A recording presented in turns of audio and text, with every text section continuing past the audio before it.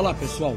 O cheque moradia deu certo. O Tribunal Regional Eleitoral do Pará cassou o mandato do governador Simão Jatene do PSDB. O cheque moradia deu certo. A justiça considerou que a chapa de Jatene cometeu abuso de poder e comprou votos nas eleições de 2014. O cheque moradia deu certo. Os procuradores afirmam que Simão Jatene teria distribuído cheques moradia meses antes da eleição. O cheque moradia deu certo. Na verdade, ele estava exercitando e colocando em prática uma lei. Nós temos o cheque moradia. Sujou, Márcio. Suas mãos sujas não vão sujar o Pará.